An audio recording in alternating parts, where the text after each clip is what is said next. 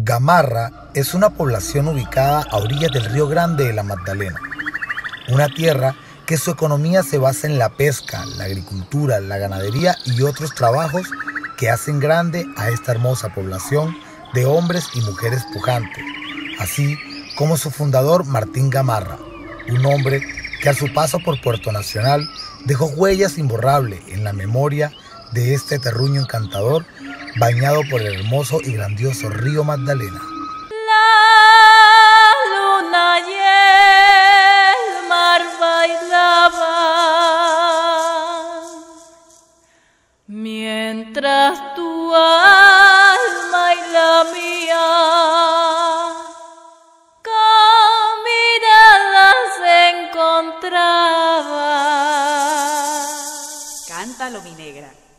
Al sonar de los tambores, la luna y el mar bailaban mientras tu alma y la mía con miradas se encontraban.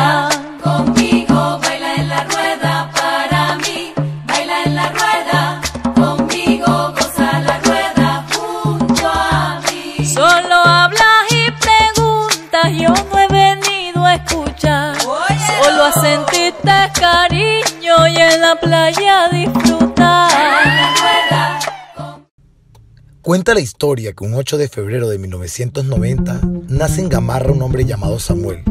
Desde muy niño dedicó su vida a la música tradicional, pero ese recorrido y paso por el folclore le dio la oportunidad de conocer al gran amor de su vida,